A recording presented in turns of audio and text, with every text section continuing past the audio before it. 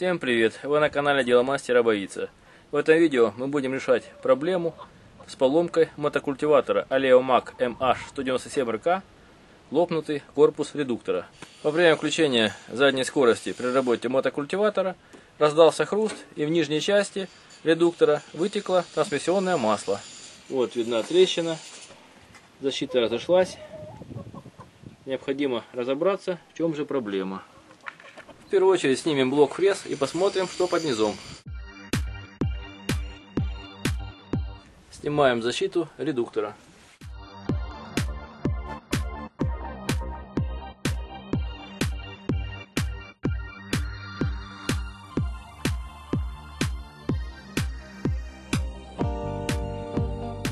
Вот видно, что кусок редуктора откололся, скорее всего, под цепь попала какая-то деталь от редуктора и это все дело вырвало. Детали я пока не вижу, будем снимать редуктор дальше. Теперь необходимо снять редуктор мотокультиватора и разобраться, в чем же проблема. Снимаем защиту.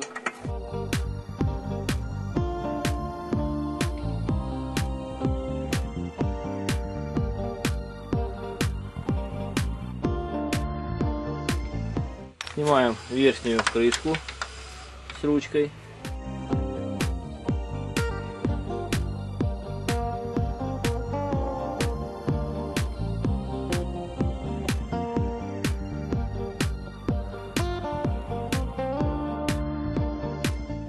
Снимаем систему крепления сошника.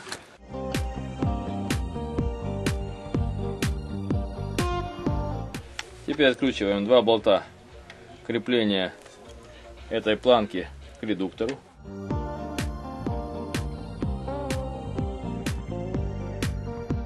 Откручиваем основной болт, который держит крылья защиты на редукторе.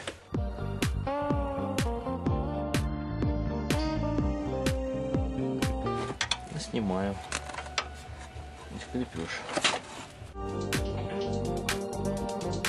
Теперь необходимо снять шкив привода. Для этого снимаем ремень.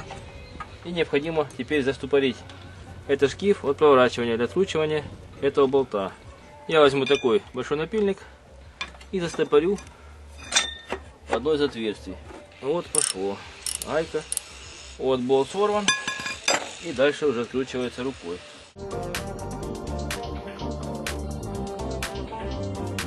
Довольно длинный болт. Теперь тянем на себя. И вал легко снялся. Я думал, что он будет напрессован в этом месте. Откручиваем последний болт. И редуктор можно будет снять.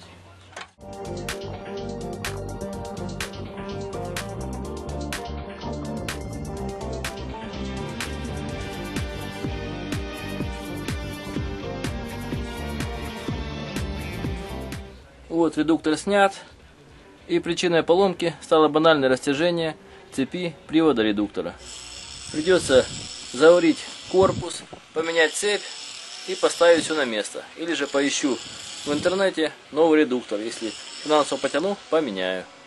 Посмотрев цены на редуктор мотокультиватора, я пришел к выводу, что необходимо ремонтировать тот, что поломан. Цена редуктора в сборе почти такая же, как мотокультиватора целиком.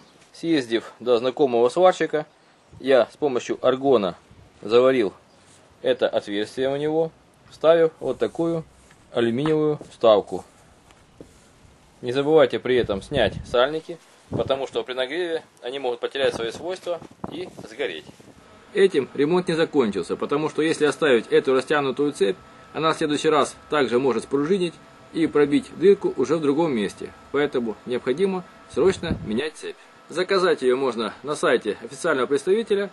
Он находится в городе Киев, поэтому я уже это сделал.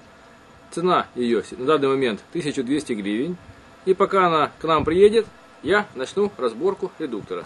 Вот такой внешний вид имеет редуктор сверху. Здесь видна цепь звездочек коробки передач. А внизу идет шестеренка с цепью, которую нам необходимо достать и заменить. Первую очередь снимаем шток переключения скоростей. Для этого откручиваем этот болт и освобождаем вилку переключения.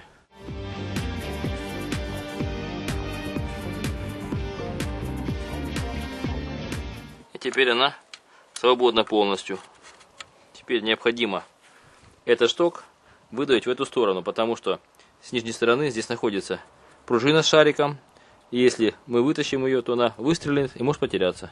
Аккуратно пристучим молотком по этому рычагу.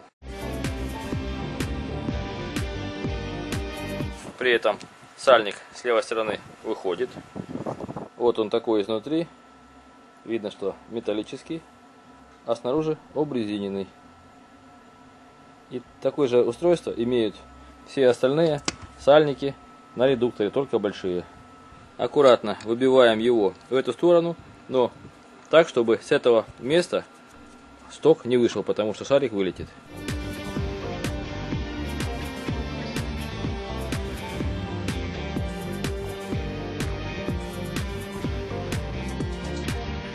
Вот вилка переключения скоростей освобождена. Теперь необходимо снять эти три оси шестеренками для того, чтобы добраться до цепи. Теперь с помощью головки на 10 откручиваем три болта крепления металлической заглушки с правой стороны редуктора.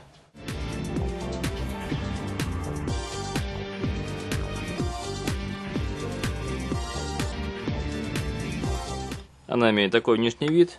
Внутри находятся уплотнительные резиновые манжеты, которые защищают коробку от протекания трансмиссионного масла. Начинаем вынимать вставки, которые находятся здесь под крепежом. И вынимаем аккуратно подшипник. И теперь очень аккуратно с этой стороны вынимаем шток.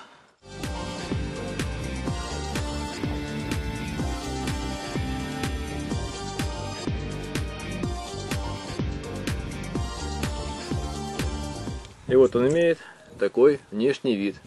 Я его разбирать не буду, чтобы потом ничего не перепутать. На следующем этапе придется снимать эти резиновые заглушки. Я для этого буду использовать обычный шуруповерт и шуруп по металлу. Строго по центру начинаем его закручивать.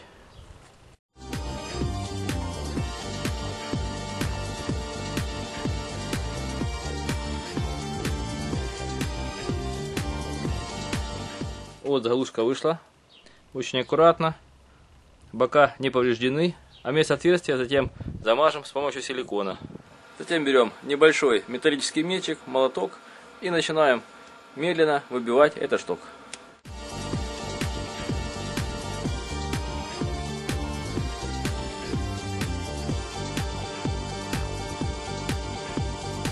Вот потихонечку начал выходить. Аккуратненько вынимаем все внутренность, ничего, стараясь не потерять и не перепутав.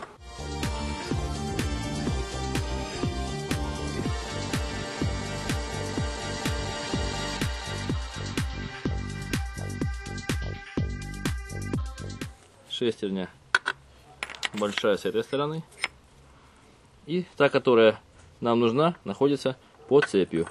И вынимаем шестеренку, на которой держится цепь. Она имеет такой внешний вид, как на мотоцикле. После этого нам необходимо снять звездочку с вала фрез. Для этого придется демонтировать сам вал. На валу фрез установлены два сальника. Один больше, один меньше. Снимаются они нелегко путем поддевания плоским предметом металлической кромки по кругу. И они легко вынимаются. Они имеют такой внешний вид. Один я уже поменял, он потек, второй еще родной. Со стороны левого большего сальника находится стопорное кольцо, которое необходимо снять специальным съемником или же используя заточенное круглогубцы.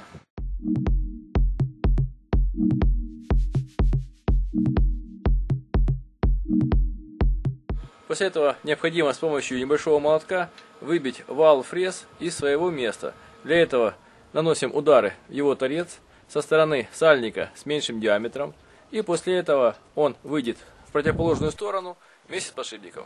Наносим по торцу короткие, несильные удары.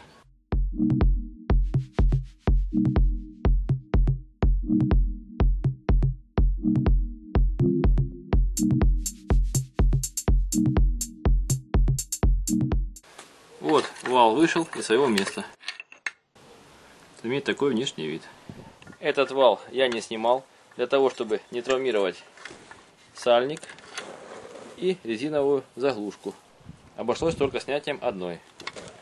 Поэтому я снимаю цепь со звездочки, потому что она не выходит.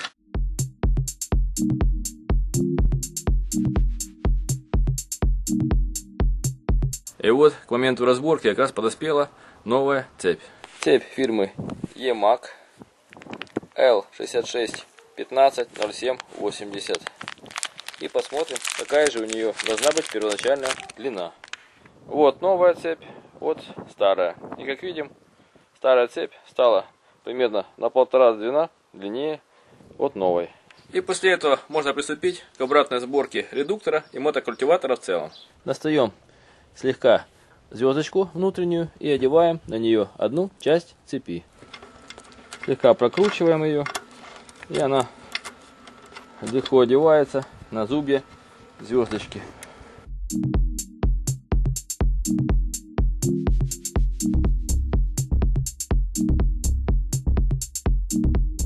Поднимаем редуктор и опускаем цепь со звездочкой до низа.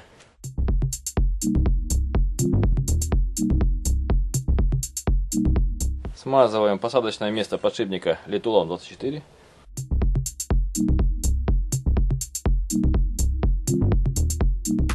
И внутреннюю часть противоположного подшипника. И начинаем заводить вал на свое место. Он должен попасть шлицами в пазы на звездочке. И аккуратно забиваем его специальной оправкой на свое место.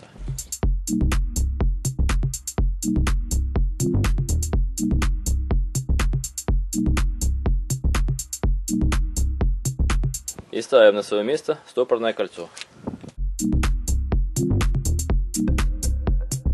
И теперь ставим на свое место все узлы коробки передач. Снимаем звездочку, одеваем ее на цепь. Начинаем одевать шток на свое место.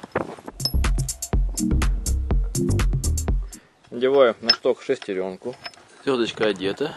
И осталось поставить на свое место двойную шестеренку.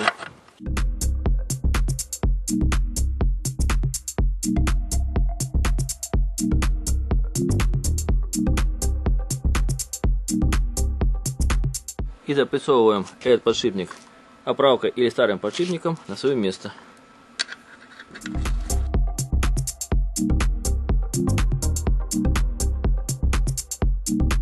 И ставим на место последние шестерни. Подшипник здесь отдельно лежит.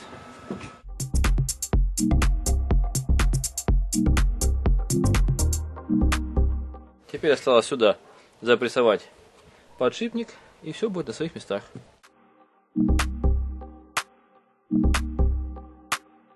Одеваем вилку переключения скоростей. И забиваем шток переключения скоростей до упора.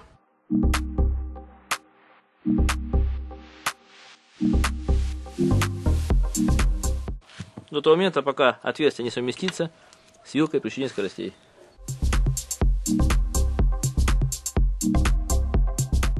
Теперь прикручиваем вилку к штоку.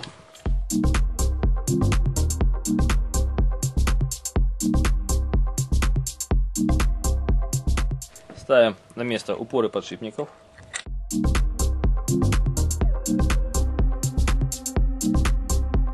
И фиксируем заглушку подшипников.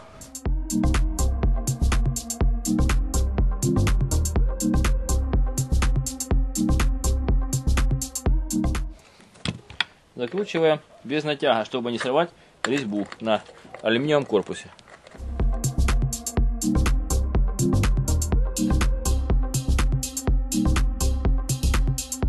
Теперь необходимо поставить на место резиновые заглушки. Я одну просверлил, поэтому ее необходимо будет ремонтировать с помощью силикона.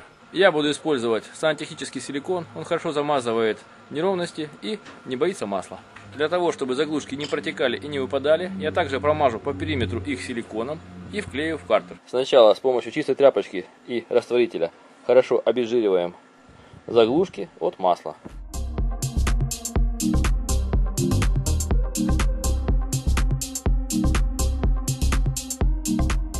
Затем также обезжириваем посадочные места заглушек.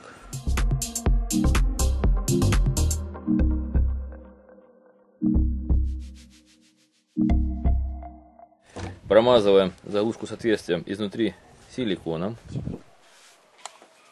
чтобы она заполнила отверстие.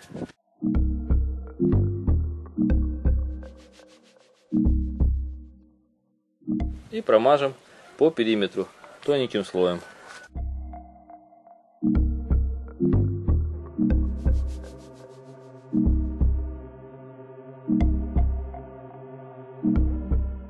Теперь можно ставить заглушку на свое место.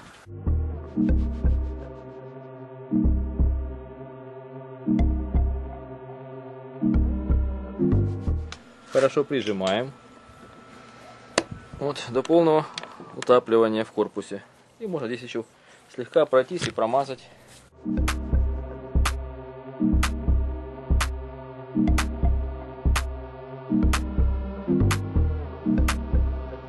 Лишний силикон нужно удалить.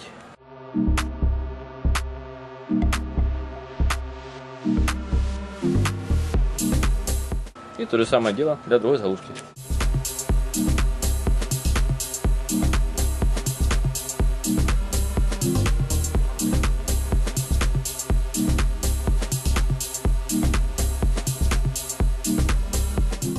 Осталось поставить на место два сальника и можно ставить редуктор на мотокультиватор.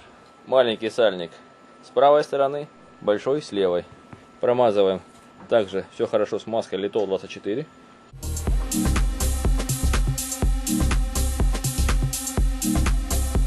И теперь можно запрессовывать его на свое место. И запрессовываем с помощью оправки.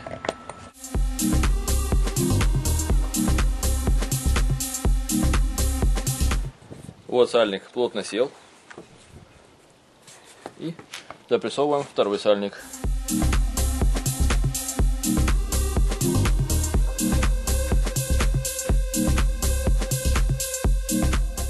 Для проверки на герметичность я залью в картер редуктора трансмиссионное масло ТАТ-17 до маслозаливного отверстия. И заодно узнаем, сколько же вмещается сюда масла до этого отверстия, так как нигде в документах этого не указано подмерять масло пол-литровой банкой и посмотрим.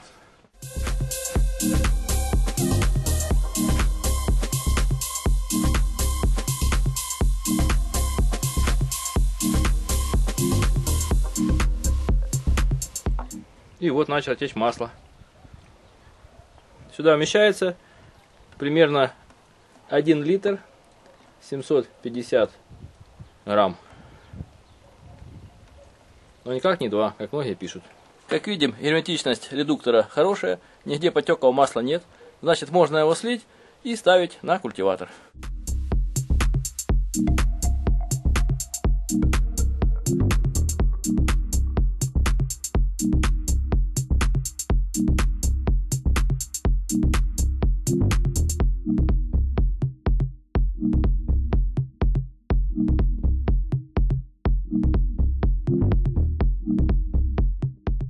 Теперь ставим на свое место шкив привода.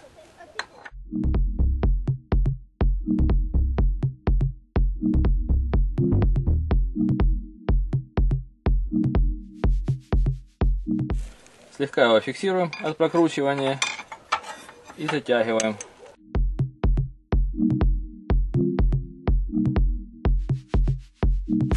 И фиксируем защитные крылья. Здесь вверху есть места под болты и небольшие шайбочки, которые должны быть между корпусом и крыльями.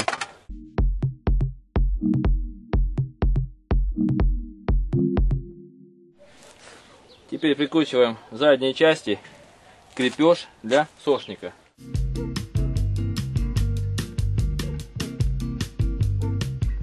Ставим на место ручку переключения скоростей.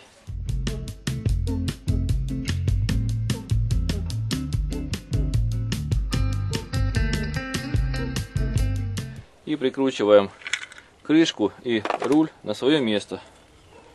Следим, чтобы здесь было все чисто и был плотный контакт, потому что может протекать масло, чтобы эта резиновая прокладка не соскочила. Очень часто из этого отверстия течет масло трансмиссионное.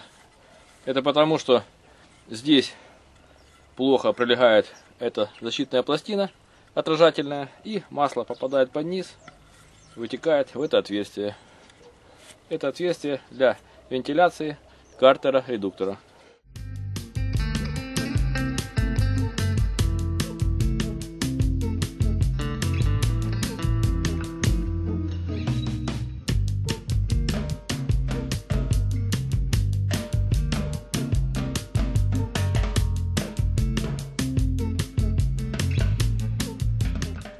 Теперь ставим на место сошник.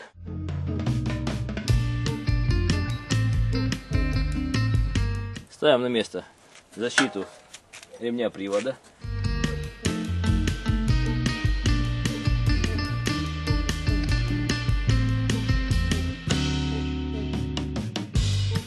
Ну а теперь осталось поставить на место фрезы, залить масло в редуктор и можно проверять, как работает культиватор.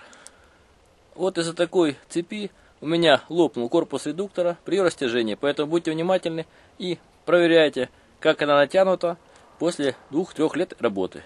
Вы были на канале Деломастера Боится. Смотри видео о том, как своими руками поменять цепь редуктора мотокультиватора Алеомаг MH197RK.